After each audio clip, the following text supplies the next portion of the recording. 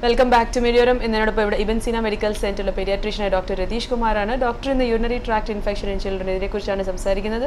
അപ്പം ബ്രേക്കിന് പോകുന്നതിന് മുന്നേയായിട്ട് ഡോക്ടർ നമ്മളോട് കോസസ് ഇത് വരാനുള്ള കാരണങ്ങൾ അതുപോലെ ഏത് പ്രായക്കാർക്കാണ് ഇത് വരുന്നത് ഏത് പ്രായത്തിലുള്ള കുട്ടികൾക്കാണ് ഇത് വരുന്നത് എന്നൊക്കെ പറഞ്ഞു. അപ്പോൾ കൂടുതൽ നമുക്ക് ഇതിനോ ഇതിനെപ്പറ്റി ഡോക്ടറോട് ചോദിച്ചറിയാം.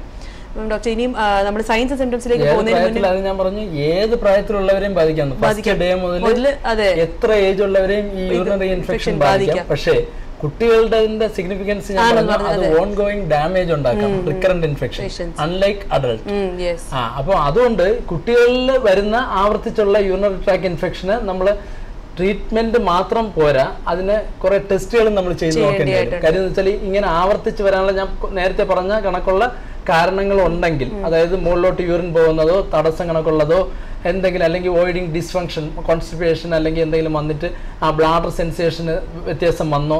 അപ്പൊ അങ്ങനത്തെ ഈ പ്രശ്നങ്ങൾ ആ വെസൈക്കോ യൂട്രിക് മൂത്രം മുകളിലോട്ട് പോയാൽ അത് വളരെ സീരിയസ് ആയിട്ടുള്ള കോൺസിക്വൻസ് വരുന്നതും. പിന്നെ ഞാൻ പറഞ്ഞു ഈ സിംറ്റമാറ്റിക് ആയിട്ടുള്ള അതായത് പനി ലക്ഷണത്തോട് കൂടി വരുന്ന urinary infection upper urinary infection അതായത് കിഡ്നിയെ ബാധിക്കുന്ന ഇൻഫെക്ഷൻ അതിന് പൈലോനെഫ്രൈറ്റിസ് കിഡ്നി സ്കാറിങ് അല്ലെങ്കിൽ അങ്ങനത്തെ ഡാമേജ് വന്നാൽ അത് നമ്മൾ വേറെ ടെസ്റ്റുകൾ ചെയ്ത് അത് ഓൺ അത് പ്രോഗ്രസ് ചെയ്യുന്നുണ്ടോ അല്ലെങ്കിൽ റിഫ്ലക്സ് റിഫ്ലെക്സ് കണക്കുള്ളത് കണ്ടിന്യൂ ചെയ്യുന്നുണ്ടോ എന്ന് നോക്കി. അപ്പൊ അങ്ങനെ ഉണ്ടെങ്കിൽ അതിന് നമ്മൾ പ്രിവെന്റീവ് ആയിട്ടുള്ള ട്രീറ്റ്മെന്റ് ഒക്കെ വേണ്ടി വരും. അതെ, അതിലേക്ക് വരാം. അതെ. അപ്പം സയൻസ് സിംറ്റംസ് ആയിരുന്നു. പക്ഷെ അതിന് മുന്നേ ഡോക്ടർ ഇപ്പൊ നമ്മൾ ന്യൂസിൽ പലപ്പോഴും കാണുന്നുണ്ട്. ടോയ്ലറ്റ്സ് എസ്പെഷ്യലി ഇങ്ങനെ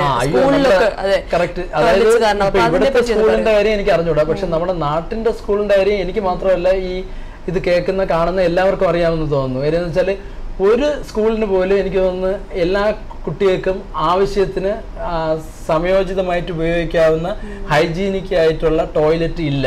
അതിപ്പം നമ്മൾ ഇപ്പം എന്താ പറയുന്നത്? ഈ ഓരോ വർഷവും നമുക്കിപ്പം ഡെങ്കിപ്പനി വരും നാട്ടിൽ.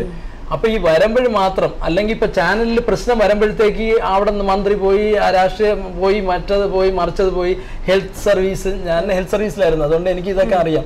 അപ്പൊ ഇങ്ങനെ പോയി കുറെ ബേളമൊക്കെ ഉണ്ടാക്കി അവിടുത്തെ കുറച്ച് പുല്ലൊക്കെ പറിച്ച് ആ ടോയ്ലറ്റിന്റെ മുമ്പ് ഇച്ചിരി പെയിന്റ് ഒക്കെ അടിച്ച് അതല്ല കാരണം. ഞാൻ ഡെങ്കിപ്പനിയുടെ കാര്യം പറയാൻ കാര്യം വെച്ചാൽ എല്ലാ വർഷവും ഈ ഡെങ്കിപ്പനി വന്ന് നമ്മുടെ അവിടെ ഇങ്ങനെ സംഭവിക്കുന്നുണ്ട്. പക്ഷേ ലോങ് ടേം ആയിട്ടുള്ള ഒരു പ്രോജക്റ്റ് അല്ലെങ്കിൽ കൊതുകിന് അല്ലെങ്കിൽ ഈ ഡെങ്കിപ്പനി ഇങ്ങനത്തെ ഇത്രയും വരാതിരിക്കാൻ വേണ്ടിയിട്ട് ഇതുവരെയും എന്റെ അറിവിൽ ഒരു നല്ല ഇതായിട്ട് ഈ വരുന്ന ഓരോ വർഷവും നമ്മളത് ആഘോഷപൂർവം കൊണ്ടാടാറുണ്ട്. അപ്പൊ അതേപോലെ ഈ കുട്ടികളുടെ കാര്യം ഞാൻ പറയുമ്പോൾ നമുക്ക് കാണുമ്പോൾ കഷ്ടം തോന്നും. കാര്യം നാളത്തെ നമ്മുടെ ഈ പൗരന്മാരെന്ന് പറഞ്ഞാൽ ഇന്നത്തെ ഈ കുഞ്ഞുങ്ങളാണ്. അപ്പൊ അവർക്ക് ഹെൽത്തി ആയിട്ടുള്ള ഒരു ഒരു നല്ലൊരു എൻവയോൺമെന്റ് ഉണ്ടാക്കേണ്ടത് നമ്മുടെ ഓരോരുത്തരുടെയും അത് ഈ ഈ ഏത് സാധാരണക്കാരന്റെയും ഏത് രാഷ്ട്രീയക്കാരന്റെയും ഏത് മന്ത്രിയുടെയും എവിടെ ഉള്ളവരുടെയും ഒരു മിനിമം കാര്യം ഈ ഒരു സ്ട്രിക്റ്റ് ആയാലും ഇപ്പോൾ ഒരു സ്കൂളിന്റെ ഇത് അവർക്ക് ഇതിന്റെ സാങ്ഷൻ ലൈസൻസ് കൊടുക്കണമെങ്കിൽ ഇത് ക്രൈറ്റീരിയ ഫുൾഫിൽ ചെയ്യണം. എവിടെ പ്രശ്നം? അപ്പൊ എവിടെയും ഇതിനൊക്കെ ലൂപ്പ് ഹോളും അതൊക്കെ. ഞാൻ പറയാൻ കാര്യം വെച്ചാൽ പെൺകുട്ടികൾക്ക് ഒരു പ്രായം കഴിഞ്ഞാൽ ആവർത്തിച്ച് യൂറിനറി ട്രാക്ക് ഇൻഫെക്ഷൻ വരുന്നത് പലപ്പോഴും കാണാറുണ്ട്. പക്ഷേ ഈ റിക്കറന്റ് ആയിട്ടുള്ള യൂറിനറി ഇൻഫെക്ഷൻ പെൽ പി ഐ ഡി കണക്ക് പെൽവിക് ഇൻഫ്ലമേറ്ററി ഡിസോർഡർ അല്ലെങ്കിൽ അവർക്ക് ഫ്യൂച്ചറിൽ അവരെ റീപ്രൊഡക്റ്റീവ് സിസ്റ്റത്തിന് തന്നെ infection റിക്കറന്റ് റിക്കറന്റ് ആയിട്ട് വന്ന് അതിന് സൈഡ് ബൈ ആയിട്ടുള്ള ഇപ്പം കിഡ്നിക്ക് മാത്രമായിട്ട് വന്നാൽ അങ്ങനെ വരണമെന്നില്ല. നമ്മൾ ഇതിനോടനുബന്ധിച്ച് ഇപ്പം അങ്ങനെ വന്നാൽ കാര്യം അവർക്ക് എല്ലാ സമയം ഇപ്പം അവർ മെൻസ്ട്രൽ പീരീഡ് ആകുമ്പോൾ അതിനെല്ലാം നമുക്കൊരു എൻവയോൺമെന്റ് ഉണ്ടാക്കി കൊടുക്കണ്ടേ? ഇല്ലെങ്കിൽ അതുവഴി ഇൻഫെക്ഷൻ വന്നിട്ട് പി ഐ ഡി കണക്കുള്ളതൊക്കെ വരാം. അപ്പോൾ എന്തായാലും ബേസിക് മിനിമം റിക്വയർമെന്റ് സ്കൂളിൽ ഉണ്ടാവണം ടോയ്ലറ്റിന് അതേപോലെ കുട്ടികളെ നമ്മൾ മോട്ടിവേറ്റ് ചെയ്യണം. ഇപ്പൊ രാഷ്ട്രീയക്കാർ അല്ലെങ്കിൽ സ്കൂൾ മാനേജ്മെന്റ് അങ്ങനെ ചെയ്തില്ലെന്ന് വിചാരിച്ച് നമ്മൾ മൂത്രം ഒഴിക്കരുത് എന്ന് വിചാരിക്കരുത്. അപ്പൊ അതിന് ഇപ്പൊ ഞാൻ ഇടയ്ക്ക് കണ്ടു കുട്ടികൾ വെളിയിൽ പോയി മൂത്രം ഒഴിക്കുന്നത് എന്തെങ്കിലും ഒരു അറേഞ്ച്മെന്റ് അവർ അല്ലെങ്കിൽ ക്ലാസ് തുടങ്ങുന്നതിന് മുമ്പ് അല്ലെങ്കിൽ ക്ലാസ്സിനെക്കാളും പ്രാധാന്യം ഇതിനും കൂടെ കൊടുക്കണമെന്നുള്ളതാണ്. കാര്യം നമുക്ക് നമ്മുടെ ഹെൽത്ത് ഉണ്ടെങ്കിൽ മാത്രമല്ല നമ്മൾ ഈ പഠിച്ചിട്ട് നാളെ എന്തെങ്കിലും ചെയ്യാൻ പറ്റൂ. ഇപ്പൊ നമുക്ക് ഹെൽത്ത് ഇല്ലെങ്കിൽ പിന്നെ ഇതുകൊണ്ട് എന്ത് ഉപയോഗം? അപ്പൊ അവർക്ക് ഈ സ്കൂളിൽ പോകുന്ന കുട്ടികൾ എന്തായാലും കറക്റ്റായിട്ട് വെള്ളം കുടിക്കുകയും ഇത് കണക്കുള്ള യൂറിൻ ഹോൾഡ് ചെയ്ത് തിരിച്ച് വീട്ടിൽ വന്നിട്ട് മൂത്രം ഒഴിക്കുന്ന ആ ഒരു പ്രവണത ആ സ്കൂളിന്റെ കുഴപ്പം കൊണ്ടാണെങ്കിൽ നിങ്ങൾ തീർച്ചയായിട്ടും പാരൻസിന്റെ പറഞ്ഞ് ആ ഒരു അവരെ കൊണ്ട് ആ സ്കൂൾ മാനേജ്മെന്റിനെ കൊണ്ട് ചെയ്യിപ്പിക്കണം. ഇത് നമ്മളുടെ ഓരോരുത്തരുടെ അവകാശമാണ്.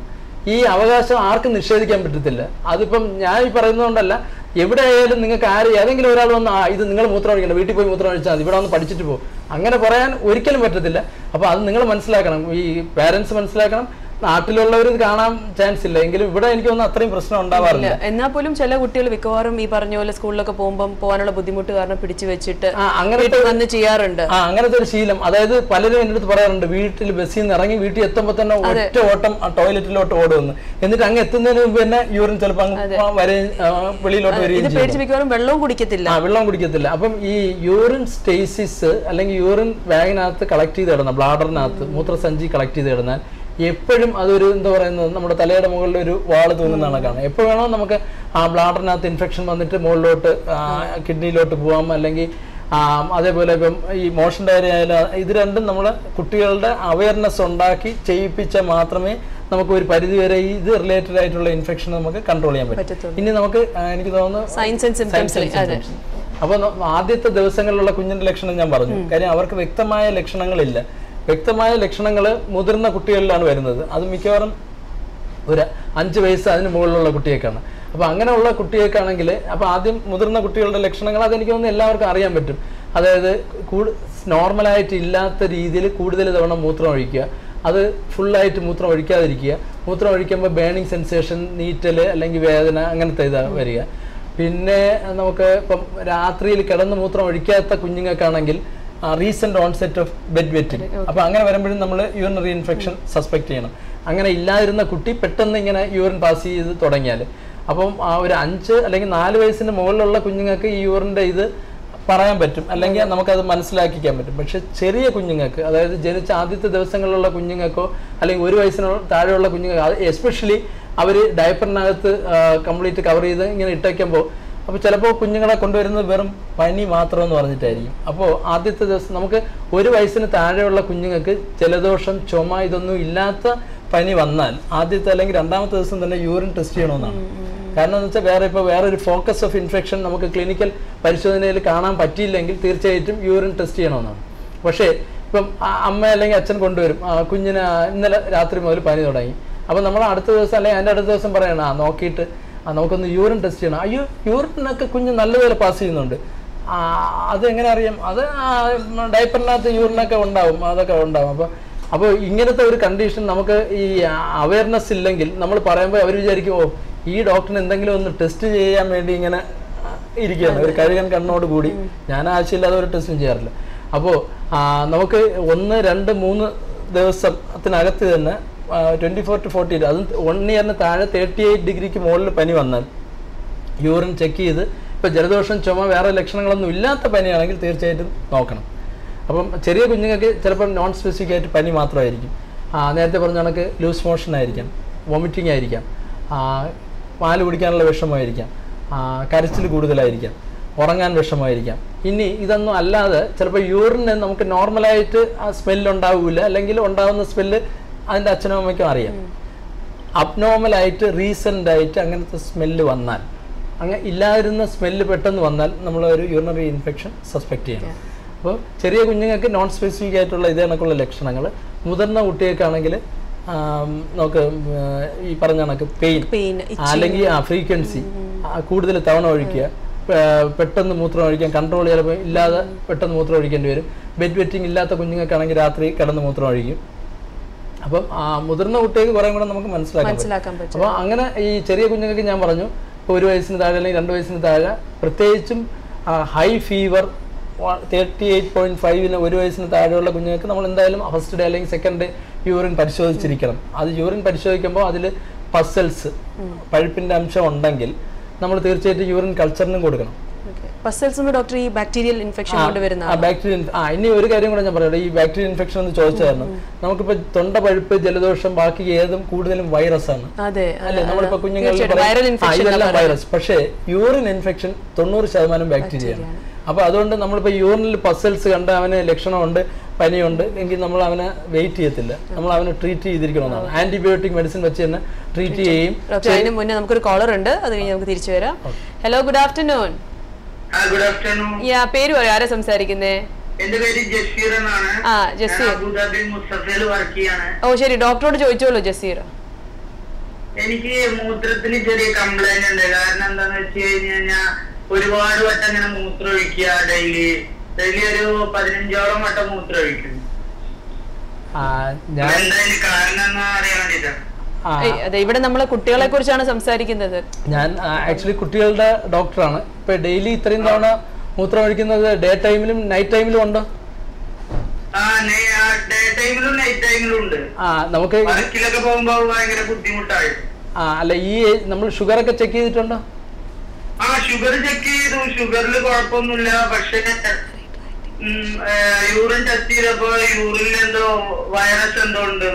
ആ യൂറിനിൽ ബാക്ടീരിയ അങ്ങനെ ഉണ്ടെങ്കിൽ ആ ആവർത്തിച്ച് വരികയാണെങ്കിൽ എന്തായാലും നമ്മൾ ഒരു ഫിസിഷ്യൻ ഡോക്ടർ ഞാൻ പീഡിയാട്രിഷ്യൻ ആണ് കുട്ടികളുടെ ഡോക്ടർ അപ്പോൾ അതുകൊണ്ട് ആ നമുക്ക് ഒരു ഫിസിഷ്യൻ ഡോക്ടറിനെ കാണുകയും ആവർത്തിച്ച് ഇങ്ങനെ വരുന്നുണ്ടെങ്കിൽ അതിനെന്തെങ്കിലും കാരണമുണ്ടോ എന്നുള്ള ഡോക്ടർ ടെസ്റ്റ് ചെയ്ത് പരിശോധിച്ചിട്ട് പറയുന്നതാണ്. ഓക്കെ ഞാൻ നാട്ടിലായിരുന്നപ്പോ ഡോക്ടർ പറഞ്ഞെന്താന്ന് വെച്ച് കഴിഞ്ഞാൽ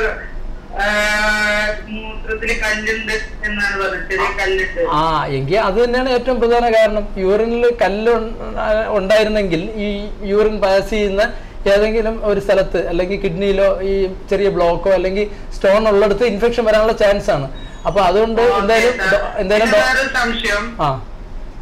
ഇത് ക്ലൈമറ്റ് മാറുന്നതിനനുസരിച്ച് നമ്മൾ ഈ മെഡിസിൻ മാറ്റണം എന്ന് പറഞ്ഞു ഇവിടെ ഒരു ഫ്രണ്ട് നമ്മുടെ ക്ലൈമറ്റ് മാറുന്നതനുസരിച്ച് എന്ത് മെഡിസിനാണ് അത് മെഡിസിൻ പറഞ്ഞു കഴിഞ്ഞപ്പോ നാട്ടിൽ ക്ലൈമറ്റ് ഇത്ര ചൂടില്ലല്ലോ. അപ്പൊ ഇവിടെ ചൂട് ഒരുപാടുണ്ടല്ലോ. ആ ഇവിടെ ചൂട് കൂടുതലുണ്ടെങ്കിൽ നമ്മൾ അതാ പിന്നെ കൂടുതൽ വെള്ളം കുടിക്കണം കൂടുതൽ യൂറിൻ പാസ് ചെയ്യണം. അതേ ഉള്ളൂ. മെഡിസിൻ ഇപ്പം നമുക്ക് പനിയുടെ മെഡിസിൻ നാട്ടിൽ ഉപയോഗിക്കുന്ന തന്നെ ഇവിടെ ഉപയോഗിക്കാം. ആന്റിബയോട്ടിക് നാട്ടിലത്തെ തന്നെ ഇവിടെ ഉപയോഗിക്കാം. എന്തായാലും ഒരു ഫിസിഷ്യൻ ഡോക്ടറിനെ കണ്ടിട്ട് ആ കാര്യം ഒന്ന് ഡിസ്കസ് ചെയ്യണം. ഞാൻ ഈ വലിയവരെ അധികം നോക്കാറില്ല. ഓക്കെ വളരെ നന്ദി വിളിച്ചതില്ല ജസീറ. ഡോക്ടർ അതുപോലെ ഇപ്പോൾ നമുക്കൊരു മെയിൽ വന്നിരിക്കുകയാണ് അതും സ്ത്രീകളുടെ കാര്യം. പറയാം പ്രഗ്നന്റ് ലേഡീസിൽ അപ്പറിനാണ് ഇത് അയച്ചിരിക്കുന്നത്. പ്രഗ്നന്റ് ലേഡീസിന് യൂറിൻ ഇൻഫെക്ഷൻ വരാൻ സാധ്യതയുണ്ടോ? ഉണ്ടെങ്കിൽ അതിനെ കുറിച്ച് ഒന്ന് അറിഞ്ഞാൽ കൊള്ളാം എന്ന് പറഞ്ഞിട്ടാണ് പക്ഷെ അതും ഞാൻ എന്റെ എന്റെ ഏരിയയിലുള്ള സംഭവമല്ല. അതും അടുത്ത ഇനി ഗൈനക്കോളജി ഡോക്ടർ വരുമ്പോഴത്തേക്ക്. കാര്യം വെച്ചാൽ നമ്മൾ ഈ ഹാൻഡിൽ ചെയ്യാത്ത കാര്യങ്ങളെ പറ്റി നമ്മൾ അതോറിറ്റേറ്റീവ് ആയിട്ട് നമുക്ക് പറയാൻ പറ്റില്ല. പക്ഷെ പ്രഗ്നന്റ് ലേഡീസിന് യൂറിനറി ഇൻഫെക്ഷൻ വന്നാൽ അതിന് തീർച്ചയായിട്ടും ഡോക്ടറിനെ കാണുകയും ട്രീറ്റ്മെന്റ് വേണം. അത് ഒരു ഗൈനക്കോളജി ഡോക്ടറിനെ തന്നെ കാണണം. ഡോക്ടറിനെ കാണുമ്പോഴത്തേക്ക് ഡോക്ടർ യൂറിൻ ടെസ്റ്റിങ്ങും ബാക്കി അതിന് ട്രീറ്റ്മെന്റ് വേണമെങ്കിൽ അത് തീർച്ചയായിട്ടും അത് വേണം. നമ്മളിപ്പം എനിക്ക് തോന്നുന്നു ഈ കുട്ടികളുടെ ഇതായിട്ടുള്ളതിനെ ഹൈലൈറ്റ് ചെയ്തിട്ടില്ലെന്ന് തോന്നുന്നു. ഇല്ല നമ്മൾ അത് ചെയ്തിട്ടുണ്ട്. എന്നിട്ട് പോലും എനിക്ക് തോന്നുന്നു അവർക്ക് ഷുവർ എനിവേസ് ഡോക്ടർ പെരിയാട്രീഷ്യൻ ആണ്. കുഴപ്പമില്ല. പക്ഷെ എന്തായാലും പ്രഗ്നൻസി ടൈമിൽ യൂറിനറി ഇൻഫെക്ഷൻ വന്നാൽ തീർച്ചയായിട്ടും അതിന് സിഗ്നിഫിക്കൻസ് ഉണ്ട്. അത് വളരെ ഇമ്പോർട്ടന്റ് ആയിട്ട് തന്നെ നമ്മൾ കാണേണ്ടതും ഒരു ലേഡി ഗൈനക്കോളജി ഡോക്ടറിനെ കണ്ട് ട്രീറ്റ്മെന്റ് തേടേണ്ടതാണ് ഓക്കെ അപ്പൊ അപർണ ഇത് കേട്ടു എന്ന് വിശ്വസിക്കുന്നു. എനിവേസ് മെയിൽ അയച്ചതിൽ വളരെ നന്ദി. ഇപ്പൊ ഡോക്ടർ പറഞ്ഞുകൊണ്ടിരുന്നത് നമ്മൾ യൂറിനറി ഇൻഫെക്ഷൻ വരുമ്പോൾ അത് നയന്റി പെർസെന്റ് ബാക്ടീരിയ ആണെന്നാണ് പറഞ്ഞത്. അപ്പോൾ സാധാരണ ബാക്കി ഏതും കോൾഡും ചുമയും അല്ലെങ്കിൽ വൈറൽ ഫീവർ എല്ലാം വൈറസ് ആണ് മെയിൻ ആയിട്ട്. പക്ഷേ യൂറിനറി ട്രാക്ക് ഇൻഫെക്ഷൻ നയന്റി പെർസെന്റും ബാക്ടീരിയ തന്നെ ആയിരിക്കും. അപ്പോൾ അതുകൊണ്ട് ലക്ഷണത്തോടു കൂടി വരുന്ന കുഞ്ഞിന് അല്ല ലക്ഷണം ഇല്ലാതെ വന്നിട്ട് നമ്മൾ യൂറിൻ പരിശോധിച്ച് യൂറിനിലെ ഇൻഫെക്ഷന്റെ ലക്ഷണം കാണിച്ചാൽ കൾച്ചറും ചെയ്യണം. ചെറിയ കുഞ്ഞുങ്ങളാണെങ്കിൽ നമ്മൾ അപ്പോഴും തന്നെ ആന്റിബയോട്ടിക് കണക്കുള്ള ട്രീറ്റ്മെന്റ് സ്റ്റാർട്ട് ചെയ്യണം. എന്നിട്ട് കൾച്ചർ റിപ്പോർട്ട് നോക്കണം.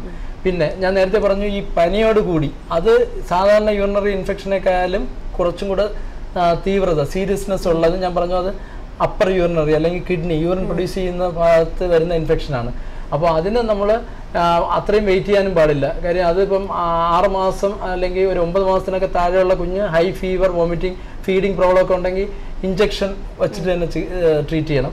അതല്ലാത്ത കുഞ്ഞുങ്ങൾക്കാണെങ്കിൽ നമുക്ക് ഓറൽ ആന്റിബയോട്ടിക് പെട്ടെന്ന് തന്നെ സ്റ്റാർട്ട് ചെയ്യുകയും അൾട്രാസൗണ്ട് സ്കാൻ ചെയ്ത് നോക്കണം. ആ കിഡ്നിക്ക് എത്ര എന്ത് പ്രശ്നമുണ്ട്. അപ്പോൾ അതിന് നെഫ്രൈറ്റിസ് ബൈലോ നെഫ്രൈറ്റിസ് എന്ന് പറയുന്ന കിഡ്നി ഇൻഫെക്ഷൻ ഉണ്ടെങ്കിൽ ആറാഴ്ച കഴിഞ്ഞിട്ട് വീണ്ടും നമ്മൾ ചെയ്ത് നോക്കണം. കാര്യം വെച്ചാൽ സ്കാറിങ് കണക്ക്. അതായത് ഈ ഏത് ഇൻഫെക്ഷൻ വന്നാലും അവിടെ ഈ റിക്കവർ ചെയ്യുമ്പോഴത്തേക്ക് പാട് കണക്ക് വന്ന് ആ സ്കാർ വന്നാൽ അത് ഓൺ ഇപ്പോൾ ഓൺ ഗോയിങ് ഒരു പ്രോസസ്സ് കണക്ക് സ്കാറ് പ്രോഗ്രസ് ചെയ്യാം. സ്കാർ പ്രോഗ്രസ് ചെയ്യാനായിട്ടുള്ളത് നമ്മൾ റിക്കറന്റ് ഇൻഫെക്ഷൻ വീണ്ടും വന്നാൽ. അപ്പോൾ റിക്കറന്റ് ഇൻഫെക്ഷൻ കൊണ്ട് സ്കാർ വരാം. സ്കാർ വന്നിട്ട് റിക്കറന്റ് ഇൻഫെക്ഷൻ വരുമ്പോൾ അത് കൂടുക. അങ്ങനെ കൂടുമ്പോഴത്തേക്ക് കിഡ്നി ഡാമേജിലോട്ട് പോവാം. കോളർ എത്തിയിരിക്കുകയാണ്. ഹലോ ഗുഡ് ആഫ്റ്റർനൂൺ നമസ്കാരം. ആ പേര് പറയോ ആരാ സംസാരിക്കുന്ന? പേര് പറയൂ. മീര. ഡോക്ടറോട് ചോദിച്ചോളൂ. ഹലോ? ആ മീര പറഞ്ഞോളൂ പറഞ്ഞോളൂ കേക്കാം. എന്റെ മോന് ഒന്നേകാൽ വയസ്സായപ്പോഴേ ഓക്കെ. യൂറിൻ ഇൻഫെക്ഷൻ വന്നായിരുന്നു. ശരി. അതിനോട് സ്കാൻ ചെയ്തപ്പം ആ. ലെഫ്റ്റ് കിഡ്നി പറഞ്ഞു. എന്താ പറഞ്ഞു? ലെഫ്റ്റ് കിഡ്നി വലിപ്പം ക്ലിയർ ആവുന്നില്ല അതൊന്നുകൂടെ പറയോ മീര. വലിപ്പ ലെഫ്റ്റ് കിഡ്നിക്ക് സാർ ആ വലിപ്പം ഓക്കെ മനസ്സിലായി. ലെഫ്റ്റ് കിഡ്നിക്ക് വലിപ്പം കൂടുതലാണെന്ന് പറഞ്ഞു. ഓക്കെ. നാട്ടിൽ പോയി എല്ലാം ചെക്കപ്പ് ചെയ്യായിരുന്നു. ഓക്കെ. ചെക്കപ്പ് കുഴപ്പമില്ല. പിന്നെ മരുന്ന് കഴിച്ചു. ആ മൂന്ന് ഡെയിലി ഡെയിലി മരുന്ന് കൊടുത്തല്ലേ ആ ഓക്കെ ഓക്കെ ഓക്കെ. അപ്പം ഈ പിന്നെ ഒന്നേകാൽ വയസ്സിലെ ഇൻഫെക്ഷൻ വരുന്നതിന് മുമ്പ് ആൺകുഞ്ഞല്ലേ? ആ മൂത്രം ഒഴിക്കുമ്പോഴത്തേക്ക് നല്ല സ്ട്രീമായിട്ട് തന്നെയാണ് മുറിഞ്ഞു മുറിഞ്ഞാണോ മൂത്രം പൊയ്ക്കൊണ്ടിരുന്നത് ആദ്യമൊക്കെ? അല്ല ആ ശരി. എന്തായാലും ഈ ഇൻഫെക്ഷൻ വരുമ്പോൾ ഞാൻ നേരത്തെ പറഞ്ഞ കണക്ക് കിഡ്നിയിൽ ഇൻഫെക്ഷൻ വരുമ്പോൾ അവിടെ ഇച്ചിരി സ്കാറിങ്ങോ അല്ലെങ്കിൽ ഇച്ചിരി വെള്ളം കെട്ടൽ അല്ലെങ്കിൽ അങ്ങനെ അതിനോടനുബന്ധിച്ച് എന്തെങ്കിലും ഉണ്ടായിരുന്നിരിക്കാം. അപ്പോൾ അത് പറയൂ. ഓക്കെ. അപ്പോഴും നോർമലായി? അപ്പം മൊത്തം നോർമലായില്ല കുറച്ച് നോർമലായിട്ടുണ്ട്. ആ. ഇനി മൂന്ന് സ്കാൻ ചെയ്യാൻ ഓക്കെ. ഞാൻ അജ്മാൻ ഡോക്ടറുടെ Ibn Sina Ajman Ibn Sina ഇല്ല ആ, ആ, ഏത് ഏത് ഇബിൻ സീന ഇബിൻ സീന. ആ, ആ, അതിനു മുമ്പ് ഞാൻ പറഞ്ഞോട്ടെ കുഴപ്പമില്ല. ഈ നമ്മൾ ഇനി കുഞ്ഞിന് എപ്പോ പനി വന്നാലും ഒന്ന് യൂറിൻ അടുത്തുള്ള ക്ലിനിക്കിൽ പോയി ഒന്ന് പരിശോധിച്ചോളണം. അതായത് പനി എപ്പോഴും വന്നാലും നോക്കിക്കോളണം യൂറിൻ നോക്കണം. രണ്ട് മലം കോൺസ്റ്റിപ്പേഷൻ വരാതെ നോക്കണം. വെള്ളം കൂടുതൽ കുടിപ്പിക്കണം. ആ. ഒരു ദിവസം എത്ര വട്ടം യൂറിൻ പാസ് ചെയ്യണം നമുക്ക് എത്ര ഒരു ഈ പ്രായത്തിന് നമുക്കൊരു നാല് മണിക്കൂർ. എന്തേ? നമുക്ക് എത്ര. ആ എത്ര പാസ് ചെയ്യിപ്പിക്കണം എന്ന് പറഞ്ഞാൽ നമുക്ക് അത് കുഞ്ഞറിഞ്ഞിട്ടില്ല. അതായത് നമ്മളിപ്പം കൂടുതൽ വെള്ളം ജ്യൂസ് കരിക്കിന്റെ ഇല അല്ലെങ്കിൽ മോര് അങ്ങനത്തെ ആ അവർ നാല് മണിക്കൂർ ഇടവിട്ടെങ്കിലും മൂത്രം ഒഴിക്കണം. ഒരു ആവറേജ് നാല് മണിക്കൂർ. ആ. ഓക്കെ അപ്പം വിളിച്ചത്. ഓക്കെ വിളിച്ചത് വളരെ നന്ദി മീര. ഓക്കെ അപ്പം ഡോക്ടർ ഇപ്പം ഒരു കോളർ വിളിച്ചുകൊണ്ട് ഞാൻ ചോദിക്കുകയാണ്. ഇങ്ങനെ കിഡ്നി വലിപ്പം ചെറുപ്പം അങ്ങനെയാണെങ്കിലും ഇത് വളരെ ഇപ്പൊ ഈ പറഞ്ഞതിൽ നിന്ന് ഈ ഇൻഫെക്ഷൻ വന്നിട്ട് അങ്ങനെ ഉള്ളതാണോ നേരത്തെ ഉള്ളതാണോ അതാണ് ഞാൻ പറഞ്ഞത്. ഓക്കെ ഇപ്പോൾ ബൈ ബർത്തിൽ ചിലപ്പോൾ കുഞ്ഞുങ്ങൾ കിഡ്നിയിൽ ഇച്ചിരി നീർക്കെട്ട് അതിന് നമ്മൾ ഹൈഡ്രോനെഫ്രോസിസ് മൈൽഡായിട്ട് ചില സിസ്റ്റുകളൊക്കെ കണക്ക് വരാം. അല്ലെങ്കിൽ ഞാൻ നേരത്തെ പറഞ്ഞു മൂത്രം മുകളിലോട്ട് പോകുന്നത്. അപ്പൊ അത് നേരത്തെ വന്നിട്ട് അതിന്റെ അതിൽ ഇൻഫെക്ഷൻ വന്നതാണോ? ഇൻഫെക്ഷൻ വന്നിട്ട് അത് വന്നതാണോ എന്നുള്ളതൊക്കെ നമ്മൾ അറിയാതെ നമ്മൾ ചോദിച്ചാൽ അവർക്ക് ചിലപ്പോൾ കൺഫ്യൂഷൻ വരും. അതുകൊണ്ടാണ് ഞാൻ അത് ചോദിക്കാത്തത്. അപ്പൊ അത് ചിലപ്പോൾ നേരത്തെ ഉണ്ടായിരുന്നതാവാം. അതിൽ ഒരു ആഡ് ഓൺ കണക്ക് ഇൻഫെക്ഷൻ വന്നതാവാം. അല്ല ഇൻഫെക്ഷൻ വന്നിട്ട് അത് വന്നതാണോ എന്നുള്ളത് നമുക്ക് ആ സ്കാനും ബാക്കി ഇതൊക്കെ നോക്കിയിട്ട്. കാര്യം ബൈ ബർത്തിൽ അങ്ങനെ ഉള്ള കുഞ്ഞുങ്ങളുണ്ട്. അങ്ങനെ ഉണ്ടെങ്കിൽ അവർക്ക് ഇൻഫെക്ഷൻ വരാനുള്ള ചാൻസ് കൂടുതലാണ്. അപ്പൊ അപ്പോൾ അവർക്ക് അതിന് എത്രത്തോളം അതിന് വീക്കം ഉണ്ട് അല്ലെങ്കിൽ കളക്ഷൻ ഉണ്ട് അല്ലെങ്കിൽ റിഫ്ലക്സ് ഉണ്ട്. അതനുസരിച്ച് ട്രീറ്റ്മെന്റ് വേണോ വേണ്ടേ എന്നുള്ളത്. പിന്നെ നേരത്തെ വന്ന എനിക്ക് തോന്നുന്നു ആ അന്ന് ചിലപ്പോൾ കിഡ്നിയിൽ തന്നെ ഇൻഫെക്ഷൻ വന്ന് കാണാം. അതുകൊണ്ടായിരിക്കും ആ പ്രൊഫിലാക്സിസ് മൂന്ന് മാസം മെഡിസിൻ കൊടുത്തത്. അപ്പൊ അതിന്റെ ഡീറ്റെയിൽസ് അറിഞ്ഞാലേ നമുക്ക് കൃത്യമായിട്ട് പറയാൻ പറ്റത്തുള്ളൂ. ഓൾറെഡി ഡോക്ടർ അപ്പം ഇനിയിപ്പോ നമ്മൾ ഇത് വരാതിരിക്കാൻ എന്തൊക്കെ മുൻകരുതുകൾ മുൻകരുതുകൾ എടുക്കേണ്ടി വരും? പ്രിവെൻഷൻ മെത്തേഡ് ഓക്കെ അതിന് മുമ്പ് ഞാൻ പറഞ്ഞു നമുക്ക് ഇപ്പൊ ലക്ഷണം വന്നു അതിനെ നമ്മൾ ട്രീറ്റ് ചെയ്തു. ബാക്ടീരിയ എന്ന് പറയും മാക്സിമം ട്രീറ്റ്മെന്റിന്റെ കാര്യം പറഞ്ഞു. കാര്യം എന്ന് വെച്ചാൽ ഇത് മാത്രം യൂറിനറി ഇൻഫെക്ഷൻ മാത്രം നമ്മൾ കറക്റ്റ് ആയിട്ട് ആന്റിബയോട്ടിക് ട്രീറ്റ്മെന്റ് കൊണ്ട് കൺട്രോൾ ചെയ്യേണ്ടതാണ്. അപ്പം സിംറ്റമാറ്റിക് പനി വന്നിട്ട് ആ വരുന്ന നെഫ്രൈറ്റിസ് എന്ന് പറയും പൈലോ നെഫ്രൈറ്റിസ് അപ്പം അങ്ങനെ വരുന്ന കുഞ്ഞുങ്ങൾക്ക് ഈ പറഞ്ഞ കണക്ക് അൾട്രാസൗണ്ട് അപ്പോഴും ചെയ്യും പിന്നെ ഒരു ആറാഴ്ച സമയത്തിൽ വീണ്ടും ചെയ്യും. അപ്പോൾ ആ അൾട്രാസൗണ്ടിൽ എന്തെങ്കിലും പ്രശ്നങ്ങൾ കണ്ടാൽ അടുത്ത ടെസ്റ്റിലോട്ട് പോകും.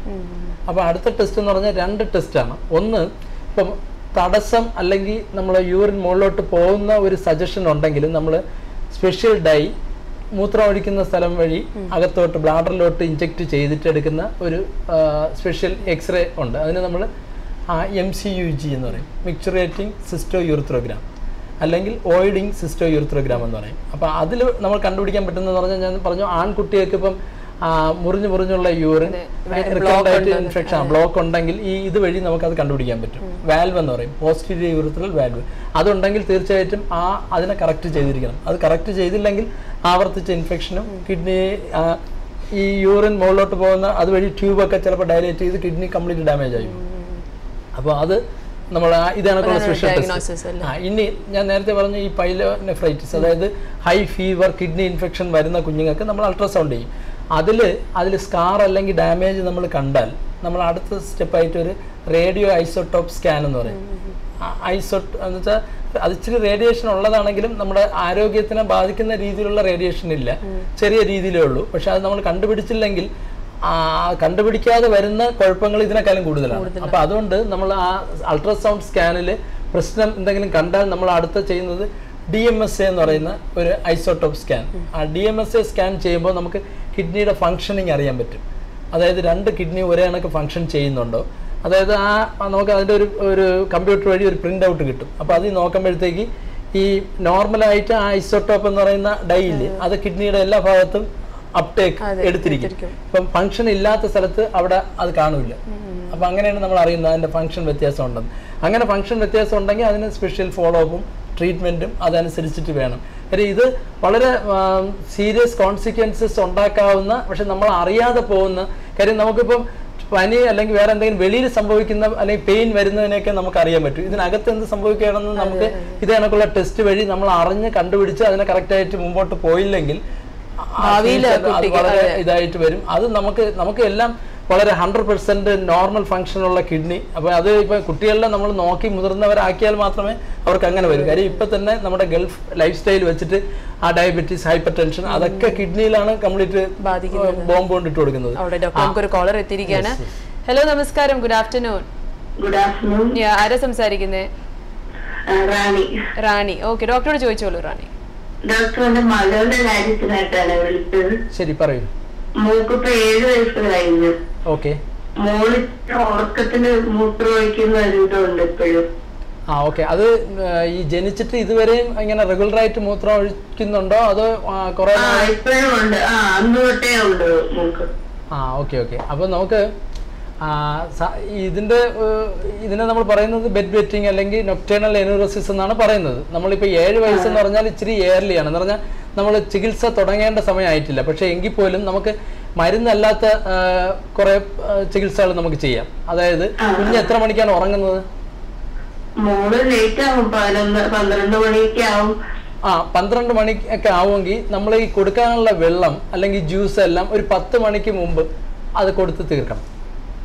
അതായത് ഉറങ്ങുന്നതിന് ഒരു ഒരു മണിക്കൂർ ഒന്നര മണിക്കൂർ മുമ്പ് നമ്മൾ കഴിയുന്നതും വെള്ളം ജ്യൂസ് ഒന്നും കൊടുക്കാൻ പാടില്ല. ഒന്ന്. രണ്ട് ഈ വളരെ മധുരം കൂടിയ ഡ്രിങ്ക്സുകൾ ജ്യൂസുകളൊന്നും കൊടുക്കരുത്. ചായ കാപ്പി കൊടുക്കുമെങ്കിൽ കൊടുക്കാതിരിക്കുക. അത്. പിന്നെ നമ്മൾ ഈ ഉറങ്ങാൻ തുടങ്ങുമ്പോൾ ഏത് സമയമാണ് ആ കുഞ്ഞ് മൂത്രം ഒഴിക്കുന്നതെന്നുള്ള ഒരു ഐഡിയ കിട്ടിയാൽ നമുക്ക് മൂത്രം ഉറങ്ങുന്നതിന് മുമ്പ് തീർച്ചയായിട്ടും കുഞ്ഞിനെ ആ ടോയ്ലറ്റിൽ കൊണ്ടുപോയി മൂത്രം ഒഴിപ്പിക്കുകയും ആ മൂത്രം ഒഴിച്ചു കഴിഞ്ഞാൽ വീണ്ടും ഒരു തവണയും കൂടെ ഒന്ന് മൂത്രം ഒഴിക്കാൻ പറയണം അപ്പോഴും. അത് ചെയ്യാം. പിന്നെ രണ്ട് നമ്മൾ ഉറങ്ങിക്കഴിയുമല്ലോ. ഉറങ്ങിക്കഴിഞ്ഞിട്ട് ഒരു ഉദ്ദേശം ഒരു മണിക്കൂറിലാണോ രണ്ട് മണിക്കൂറിലാണോ അതൊന്ന് കണ്ടുപിടിക്കാൻ അന്ന് നമുക്ക് ഇച്ചിരി വേഗം തന്നെ ചിലപ്പം കിടന്നു കഴിഞ്ഞ് വേഗം തന്നെ മൂത്രമൊഴിക്കും ആ നമുക്കിപ്പം ഈ കൂടുതൽ ദിവസം സമയം കഴിഞ്ഞിട്ടാണ് മൂത്രം ഒഴിക്കുന്നതെങ്കിൽ നമ്മൾ അതിന് ഒരു പതിനഞ്ച് മിനിറ്റ് അരമണിക്കൂർ മുമ്പ് കുഞ്ഞിനെ നമ്മൾ വിളിച്ചുണർത്തി നടത്തി ടോയ്ലറ്റിൽ കൊണ്ടുപോകണം. അപ്പം ഇത് ഇതേപോലുള്ളതൊക്കെ നമ്മൾ പറയുന്ന നോൺ ഫാർമക്കോളജിക്കൽ ട്രീറ്റ്മെന്റ് എന്നാണ്. ഇനി ഇപ്പൊ കുഞ്ഞൊരു എട്ട് വയസ്സ് മുകളിലോട്ടാകുമ്പോഴത്തേക്ക് ഇതിന് മാറ്റം വന്നില്ലെങ്കിൽ നമുക്ക് ഇതിനകത്ത് തന്നെ നമുക്ക് വേണമെങ്കിൽ കുഞ്ഞിന്റെ ഈ ഒരു അൾട്രാസൗണ്ട് ചെയ്ത് നോക്കാം. കുഞ്ഞിന്റെ ബ്ലാഡർ കപ്പാസിറ്റി കറക്റ്റ് ആണോ? ആ, അങ്ങനത്തെ എന്തെങ്കിലും ഉണ്ടോ? യൂറിന്റെ നോർമൽ ടെസ്റ്റിംഗ് ചെയ്ത് നോക്കാം. അതിനെന്തെങ്കിലും വ്യത്യാസം ഉണ്ടോ എന്ന്. ഇതൊന്നും ഇല്ലാത്ത കുഞ്ഞിനാണെങ്കിൽ ഒരു എട്ട് വയസ്സൊക്കെ കഴിയുമ്പോൾ നമുക്ക് മരുന്നായിട്ടുള്ളതുണ്ട് കഴിക്കുന്ന ഗുളിയുണ്ട് സിറപ്പായിട്ടുള്ളതുണ്ട്. അപ്പോൾ അതിൽ ഒന്ന് ഏതെങ്കിലും ഒന്ന് വെച്ചിട്ട് നമുക്ക് തീർച്ചയായിട്ടും ഇതിനെ കൺട്രോൾ ചെയ്യാം. ഇത് വളരെ അബ്നോർമൽ അല്ലെങ്കിൽ അസാധാരണമാണെന്ന് വിചാരിക്കേണ്ട. ഒന്ന്. രണ്ട് കുഞ്ഞിനെ യാതൊരു കാരണവശാലും നമ്മൾ ദേഷ്യപ്പെടരുത്. അതായത് നീ എല്ലാ ദിവസവും ഇവിടെ മൂത്രം ഒഴിച്ച് എനിക്ക് വേറെ ഒരു ജോലി ഇല്ല ഇത് കഴിവക്കം തന്നെ എന്റെ ജോലി എന്നൊക്കെ പറഞ്ഞ് അറിയുന്നില്ല ആ, പക്ഷെ- അതെ പക്ഷെ ആവർത്തിച്ച് വരുമ്പോൾ നമ്മൾ ദേഷ്യപ്പെടാറില്ലേ? ആ എനിക്കറിയാം ആ സൗണ്ട് കേട്ടപ്പോഴേ എനിക്ക് തോന്നി ദേഷ്യപ്പെടാറുണ്ട്. പക്ഷെ അത് നമ്മൾ ഒരിക്കലും ചെയ്യ ചെയ്യരുത്. കാരണം അറിഞ്ഞുകൊണ്ട് ആരെങ്കിലും ഇങ്ങനെ ചെയ്യൂ. അറിഞ്ഞുകൊണ്ട് ചെയ്യൂല ഇത് നമുക്ക് ഇപ്പം മനുഷ്യ ശരീരത്തിന് പല കാര്യങ്ങളും അറിയാതെ വരുന്നത് അവരുടെ ഒരു കുറ്റം കൊണ്ടല്ല. അപ്പോ അപ്പോൾ ഇത് ഈ പ്രായത്തിൽ ഇങ്ങനെ വരാം. വന്നിട്ട് അത് പ്രായം കൂടുന്നതനുസരിച്ച് സ്ലീപ്പിന്റെ മെച്ചൂരിറ്റി അതായത് ബ്രെയിൻ മെച്ചൂരിറ്റി വരും ബ്ലാഡർ ഫങ്ഷൻ ഇമ്പ്രൂവ് ആവും. അങ്ങനെ വരുമ്പോൾ ഇത് നോർമലി അങ്ങ് സെറ്റിൽ ചെയ്യും ഒന്ന്. രണ്ടാമത് ഞാൻ പറഞ്ഞു ഈ വെള്ളം കൊടുക്കുന്നത് ജ്യൂസ് കൊടുക്കുന്നത് ഉറങ്ങുന്നതിന് മുമ്പ് മൂത്രം ഒഴിപ്പിക്കുക. പിന്നെ നമ്മൾ അറിയും ആ ഒരു സമയം നോക്കിയിട്ട് അവളെ വിളിച്ചുണർത്തി അയക്കുക. പിന്നെ നമ്മളിപ്പം ഇവിടെ ഒന്നോ രണ്ടോ ദിവസം മൂത്രം ഒഴിച്ചില്ലെങ്കിൽ അടുത്ത ദിവസം അതിന് നമ്മൾ സ്പെഷ്യലായിട്ട് ചോക്ലേറ്റ് എന്തെങ്കിലും കൊടുത്ത് അവളെ ഒന്ന് നമ്മൾ പ്രോത്സാഹിപ്പിച്ച് പറയണം. ആ മോൾ നല്ല ഇതായിട്ടുള്ളൂ. പക്ഷേ പിന്നെ മൂത്രം ഒഴിക്കുന്ന ദിവസം നമ്മൾ അവളെ തെറി വിളിക്കാനും പാടില്ല. അപ്പം എനിക്ക് തോന്നുന്നു ദൈവം സഹിച്ച് എട്ട് വയസ്സൊക്കെ ആകുമ്പോൾ അതിന്റെ ഈ തീവ്രത കുറയും. ഇൻ കേസ് കുറഞ്ഞില്ലെങ്കിൽ നമ്മളെ കണക്കുള്ള ഏതെങ്കിലും ഒരു ഡോക്ടറിനെ കണ്ടാൽ മതി. തീർച്ചയായിട്ടും ഡോക്ടറിനെ നിങ്ങളെ സഹായിക്കാൻ പറ്റും. ശരി doctor thank you doctor okay Okay. Thanks for calling ശരി ഇതിനോട് ചേർന്ന് ഞാൻ ഇനി ഒരു കാര്യം കൂടെ പറഞ്ഞോട്ടെ? ഈ കുഞ്ഞിന്റെ കാര്യം പറഞ്ഞു. ഇവിടെ നമ്മൾ